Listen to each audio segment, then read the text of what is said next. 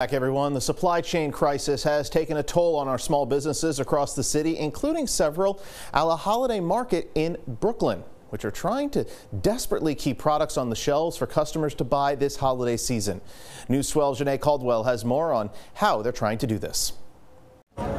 Holiday markets around this time of year are busy with local vendors selling everything from clothing to accessories to food products. I have all variety of different flavors. It's not just a pepper sauce, it's a fruit-based hot sauce pepper sauce. But this year, as the supply chain crisis continues to impact businesses, some vendors at the Brooklyn Commons Holiday Market say they're having trouble keeping their shelves stocked. There's like a, a chain of event. So it's problem with employees, how much products I can make, how much I could afford to bring out. Kevon Heath, owner of Uncle Yankey's Pepper Sauce, says the price of his ingredients have more than doubled. I used to pay like 150 for strawberry, now it's like five, six dollars. I'm talking wholesale. I'm talking like pineapple went up, everything went up. Felicia Eve is the owner of String Things Studio, and she says some of her products are being delayed. I get my inventory probably a day or two later than I normally would have.